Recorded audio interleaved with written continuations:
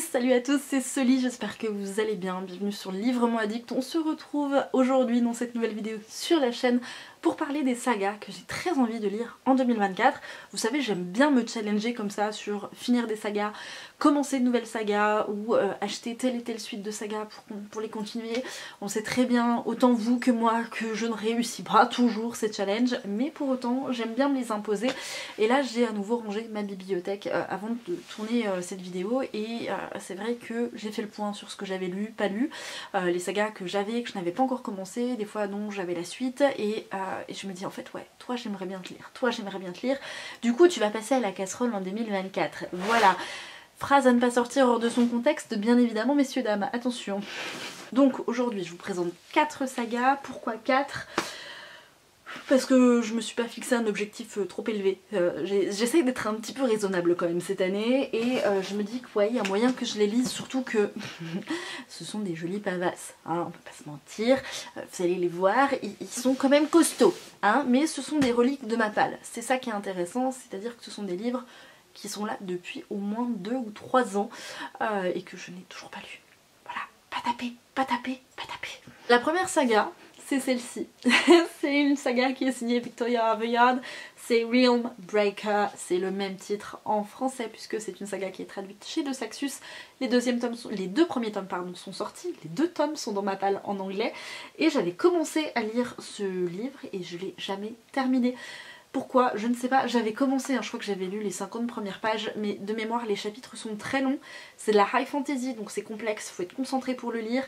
Bref, euh, je sais, j'étais peut-être pas dans le mood au moment où je l'ai commencé, mais ça avait l'air très très chouette et à chaque fois il me fait terriblement envie. Euh, voilà, c'est comme le dernier là d'Alexandra Bracken, vous savez, c'est la, malédiction de je sais plus quoi.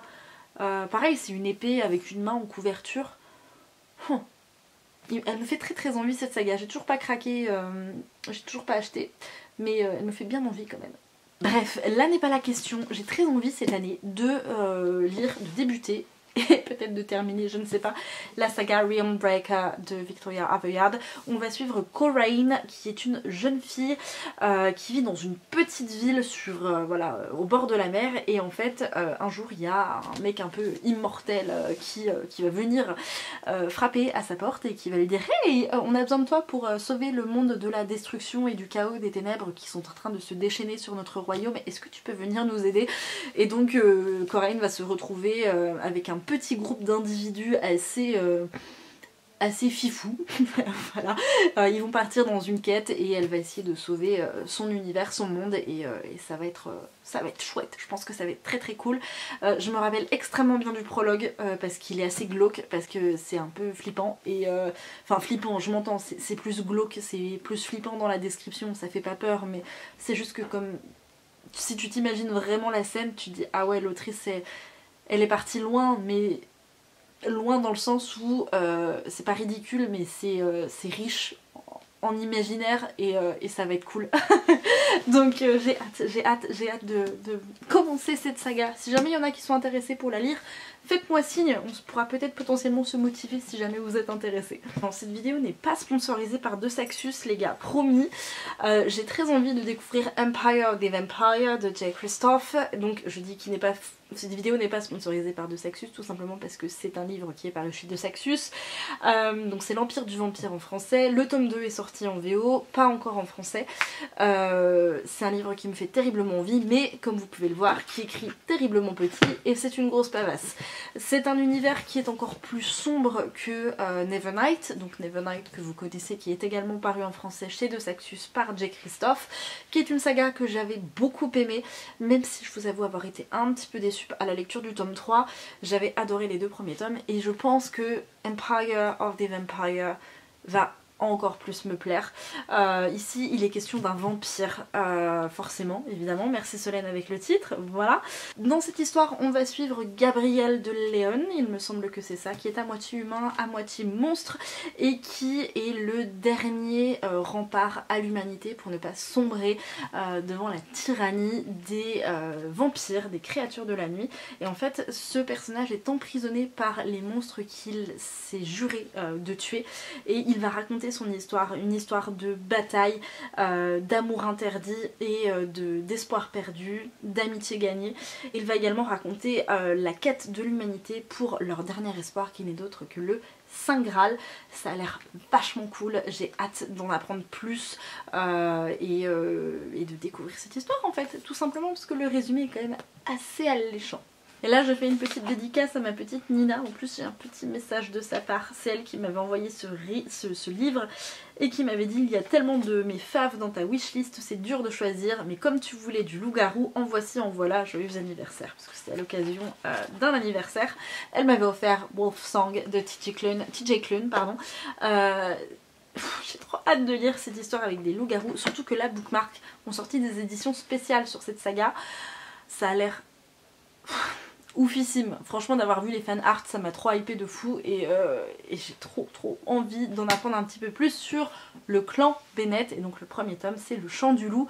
Je vous avoue ne pas en savoir plus que ça. Je sais qu'il est question de loup-garou, je sais qu'il est question d'une romance MM, je sais qu'il est question de personnages que l'on voit grandir au fur et à mesure de la série, euh, mais je n'en sais pas plus et euh, je ne veux pas en savoir plus. J'ai vraiment envie de me laisser tout le plaisir de découvrir cette saga.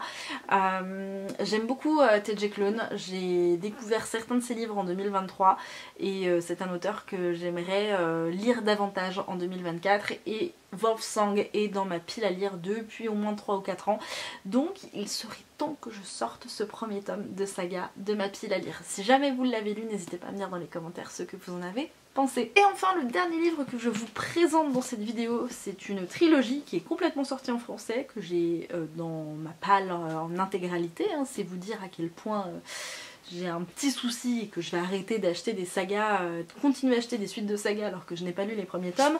Il s'agit de La Cité de Letton, c'est de S.A. Chakraborty et c'est paru chez De Saxus en français. Et là pour celui-ci je sais pourquoi euh, j'ai acheté la suite à chaque fois que ça sortait parce que, alors que je n'avais pas lu le tome 1, c'est tout simplement parce qu'à ce moment-là euh, c'était que des éditions limitées chez De Saxus et que j'avais très peur de ne pas trouver la suite. Voilà, concernant ce premier tome là... Euh, mais il m'avait été offert celui-ci en plus. Oh trop adorable, merci. Merci Elodie, si tu continues à regarder ces vidéos et que tu m'avais offert ce petit, euh, ce petit livre, j'ai gardé ton petit mot. Merci beaucoup. Euh, tout ce que je peux vous dire c'est qu'il s'agit d'une fantaisie orientale, que ça a l'air dingue, que c'est un livre qui me faisait déjà de l'œil quand je l'avais vu passer en VO et qui me paraissait assez complexe au niveau de l'histoire donc je me suis pas aventurée à lire en anglais euh, euh, et, puis en plus je l'ai reçu en cadeau en français. Donc j'ai continué en français. Il faut vraiment vraiment vraiment que je le lise cette année. Il me fait terriblement envie. Euh, il paraît qu'il est très chouette. N'hésitez pas pareil à me dire dans les commentaires ce que vous en avez pensé. Si jamais vous l'avez lu que vous l'avez aimé ou non d'ailleurs que ce soit un avis positif ou négatif s'il est bien construit ça m'intéresse.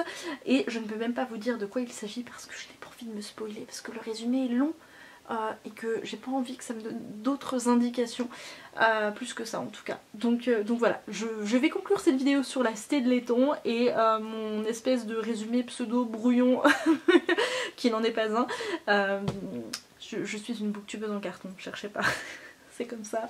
J'en ai terminé avec cette vidéo, j'espère qu'elle vous aura plu. Je vous remercie vraiment de l'avoir euh, regardée. Si jamais vous souhaitez commenter cette vidéo mais que vous ne savez pas trop quoi mettre, on peut simplement mettre un petit emoji en lien avec la fantasy.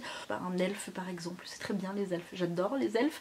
Euh, euh, donc voilà, j'espère vraiment que ça vous a plu. N'hésitez pas à me dire si jamais il y a des livres que j'ai présentés ici qui vous intéressent, que vous avez envie de découvrir en 2024. On pourrait peut-être se faire des petites lectures communes pour se motiver et puis, euh, et puis voilà, j'en ai terminé avec cette vidéo. Je vais arrêter de blablater. Je vous souhaite à tous et à toutes de passer de très belles et bonnes lectures. Et je vous dis à bientôt sur la chaîne. Je vous embrasse et vous souhaite de très belles lectures. Ciao